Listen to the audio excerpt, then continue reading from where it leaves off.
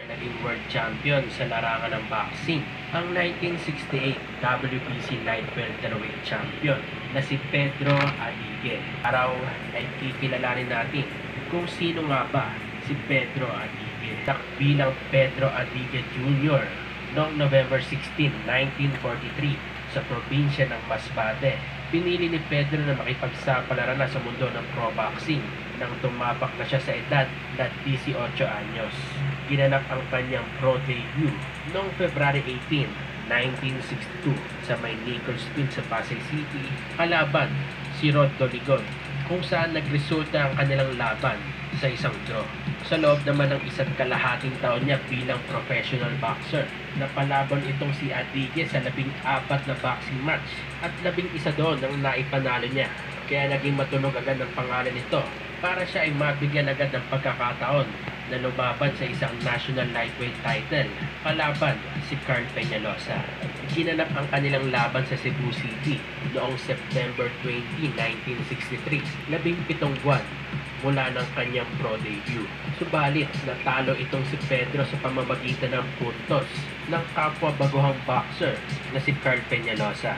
Nagkaroon naman ng rematch ang laban na Adige versus Peñalosa matapos ang dalawang taon para muling paglabanan ang titulong Philippine Games and Amusement Board Lightweight title.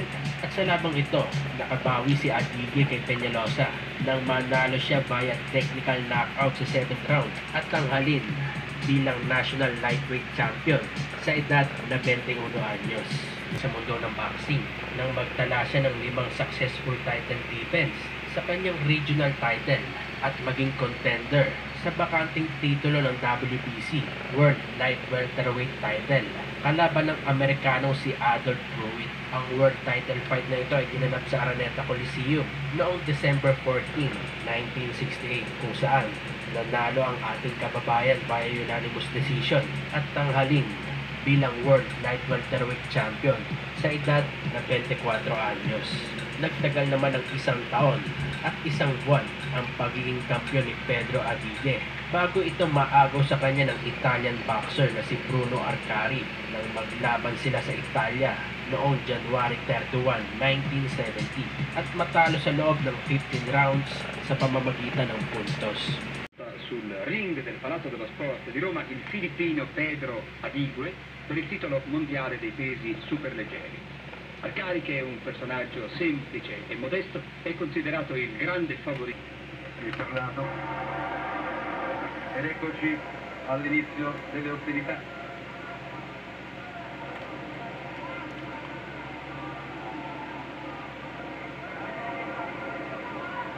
Adiga colpito con il suo destro preciso e per la prima volta dobbiamo dire che abbiamo visto Arcari accusare il colpo il straccio che Adiga aveva messo pericolosamente in mostra. Suona il gong. Suona il gong e decreta la fine del match. La vittoria di Bruno Arcari. Un match entusiasmante del quale ora rivediamo l'epilogo al rallentatore.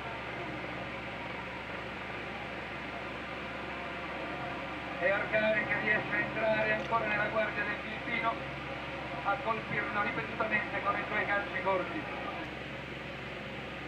Finché il pugile di Frosinone ha badato a non commettere gli errori e soltanto nei momenti più favorevoli ha dato fondo a tutte le sue, le sue energie.